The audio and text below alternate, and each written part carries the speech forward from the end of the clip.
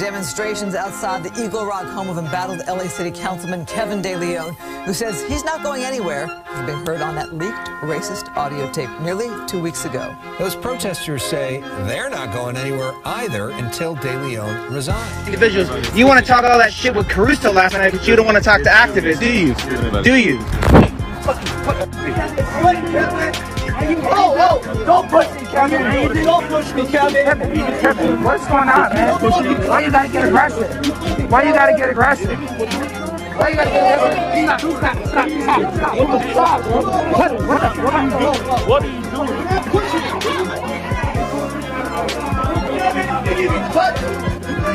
Not the first time. That's gonna look good on camera, Kevin. Gonna look real good.